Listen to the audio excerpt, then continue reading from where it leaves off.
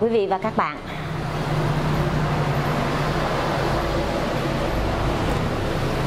Kính chào quý vị và các bạn. Hôm nay quý vị và các bạn có khỏe không? Hôm nay trong cái loạt video khi phụ nữ đến tòa, Chúng ta sẽ không giới hạn phụ nữ là ai cái à, vai trò của họ là như thế nào? Vai trò của họ là luật sư, vai trò của họ là mẹ chồng, vai trò của họ là một người con, vai trò là một người vợ. Tuy nhiên tôi sẽ bao quát hết cho quý vị và các bạn trong 15 video khi phụ nữ đến tòa. Chúng ta sẽ qua video thứ hai, các bạn nhé. Mẹ chồng nàng dâu và phiên tòa. Hòa giải thành. Cái câu chuyện này à, chắc có lẽ tôi cũng đã nói nhiều lần. Tuy nhiên hôm nay trong cái à, loạt video khiên phụ nữ đến tòa. Tôi lại muốn kể lại cho quý vị và các bạn nghe câu chuyện à, mẹ chồng nàng dâu và phiên hòa giải thành à, bà đến với tôi à, thông qua một à, người bạn. Bà bảo rằng là hồi xưa tôi có lập di chúc cho con à, người con út của tôi. Nhà tôi thì có bốn bốn đứa con lận. Tuy nhiên là tôi vẫn lập cái di chúc cho người con trai út thì còn người con trai út ở với tôi nhà của tôi mà. Bây giờ người con trai út chết. Tôi sống với con dâu, nó giờ nó khó khăn quá, nó cực quá. Nó, và thậm chí là khi mà mà chồng nó chết rồi, nó lại nhạt nhẽo quá. Thôi luật sư ơi, tôi cũng đã từng nói với nó rằng là thôi bây giờ mày đi đi, giờ chồng mày chết rồi, mày đi đi. Nhưng mà người con của tôi, người con dâu của tôi không có đồng ý. Luật sư mà, nghe cái gì mà người mẹ chồng trình bày? Giấy chứng nhận quyền sử dụng đất, giấy chứng nhận quyền sở hữu nhà và tài sản gắn liền với đất. Tên của bà. Tôi hỏi nhà này ai xây? Bảo bảo nhà của tôi. Tôi bảo, đất này đâu? Có. Đất ông bà tôi để lại. Nhưng bà tuyệt nhiên không nói về vấn đề di chúc đã lập cho con trai út đâu hợp lý rồi quý vị. Đi kiện tòa thôi. Tôi làm đơn khởi kiện giúp bà à, cũng u cỡ 80 rồi chứ không phải chơi đâu. Khởi kiện ở tòa. Thì à, trong cái quá trình khởi kiện ở tòa là tôi à, các bên gặp nhau để hòa giải. Thì khi các bên gặp nhau ở hòa giải thì cái chị con dâu á chị lại trình bày như thế này chị khóc ở tòa. Chị bảo là hồi xưa á, má chồng em lập cái di chúc cho chồng em.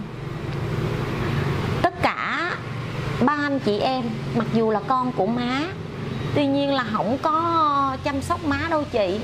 Chồng em làm ăn có tiền có của đem về xây lên cái cái nhà này đó. Thì tôi mới quay ra tôi hỏi bà là thực sự là căn nhà này có phải là do bà hay là do đứa con? Con con trai út nó nó nó nó nó gọi là nó xây thêm nữa, bà thừa nhận. Rồi, cái anh con trai út, khi mà ảnh xây thêm thì ảnh có cái quyền đặc quyền đặc lợi. Má má má làm gì chút cho con? Thì ba cũng đồng ý thôi. Thì khi anh làm có tiền, anh xây, anh anh xây thêm một cái nhà mới nói chung nói mới thì cũng không mới nhưng mà uh, thêm có tôn tạo vào cái cái nhà của bà. Hồi xưa cái nhà của bà sập sệ lắm bây giờ xây lên cái nhà mới khang trang hàng tháng. Anh về ở cái nhà đó hàng tháng. Cơm ăn cái chi phí cho công việc cho cái sinh hoạt hàng ngày của bà vẫn là anh. Bây giờ anh chết bất đắc kỳ tử rồi, thì các anh chị em ruột kia lại bây giờ tranh chấp. Chị lại tiếp tục khóc, chị bảo rằng, luật sư biết không bây giờ có một, bây giờ ảnh chết đi, em, bây giờ em cũng cùi tay luôn rồi. Bây giờ hai đứa con, giờ hỏi em đi đâu? Em đi về miền trung. Nếu em đi, khi em đi bây giờ em về em phải có số tiền. Thì uh, trong cái buổi hòa giải đó tôi hiểu được rằng cái uh, tính pháp lý và cái sự nhân văn của người mẹ chồng. Nói đơn giản. Cái khổ của bà mẹ chồng thật ra bà mẹ chồng bà lấy bà muốn đuổi cái cô dâu này ra để bà lấy lại cái nhà. Và các anh chị em hiện tại là ở xa muốn bà bán cái nhà này đi để chia. Đơn giản thôi. Vì có người con đuổi hoài nó không ra con dâu đuổi hoài không ra có hai cháu. Cháu nội đuổi trong ở trong nhà rồi làm sao bán được? Và các bạn biết không? À, thẩm phán đã cho các bên gặp lại nhau bằng phương án hòa giải thầm. À, bà người con này sẽ đồng ý lấy một người con dâu này đồng ý lấy một cái số tiền một cái số tiền ờ, nhỏ hơn cái suất thừa kế đủ để dành dụm chi tiêu trong cái khoảng thời gian một vài trăm gì đó. Và chị đã đi ra khỏi nhà. Tòa trả lại cái cái nhà này cho bà. Và thế rằng là được cả ba mẹ chồng được cả cô con dâu. Tôi còn nhớ cho đến bây giờ cũng vài năm rồi các bạn ạ à, cái mặt cảm xúc của tôi vẫn còn đó. Cái ngày mà người à, mẹ chồng giao cho số tiền cho người người dâu. Thì chị bảo với tôi như thế này, luật sư ơi, em chưa bao giờ cầm số tiền lớn hết. Em chưa bao giờ cầm số tiền lớn như thế này hết. Chị thu giúp em, đưa em từ cái đoạn từ tòa án ra ngân hàng để em chuyển tiền về quê. Và em sẽ giữ lại một số tiền nhỏ để em cầm cùng với hai con em về quê. Và các bạn biết không, nó cho đến thời điểm đó, cho đến cái thời điểm mà người con dâu, người phụ nữ nhận được tiền, thì tôi là luật sư mà. Nó không còn cái gì giữa cái bảo vệ quyền và lợi hợp pháp cho quyền lợi đối lập nữa. Một cái câu, một cái chữ, mình giúp được thì mình cứ giúp.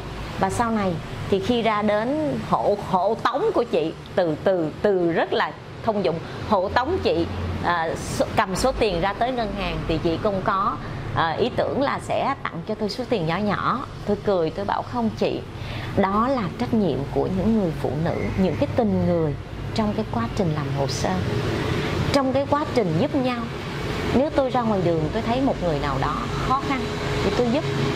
Giữa một cái vai trò giữa tình người tình người thôi. Nó không đơn thuần và phải là luật sư.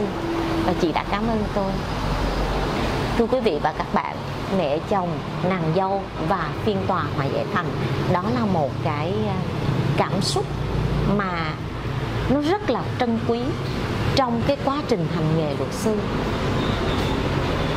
Tôi thì à, đa phần là tôi đi phiên tòa về dân sự, hình sự tôi vẫn làm nhưng mà tôi lại thích đi về dân sự. Người này kiện nhưng bị đơn có một chút, nguyên đơn có một chút giữ lại nhau những cái tình cảm gia đình tôi bảo với lại à, chị con dâu đó tôi nói thì thôi mẹ chị cũng lớn tuổi rồi à, nếu được thì à, lâu lâu à, điện thoại hỏi thăm bà những câu để coi bà sống hay là chết.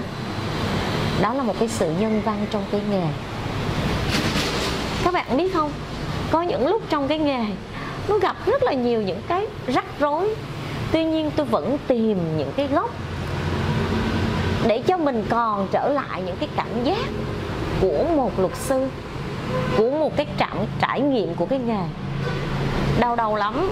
Mấy ngày nay không có muốn làm video, là không có muốn làm về chăm chắc chỉ muốn kể lại những cái câu chuyện nhân văn, để từ đó mình có những cái định hướng đi. Mình có những cái thăng hoa để mình tiếp tục cống hiến miễn phí cho quý vị và các bạn trong chương trình dân ta phải biết luật ta à, video sắp tới thì um, tôi sẽ tặng cho quý vị và các bạn một cái video có tên khi phụ nữ là luật sư đến tòa. Các bạn nhớ xem nha.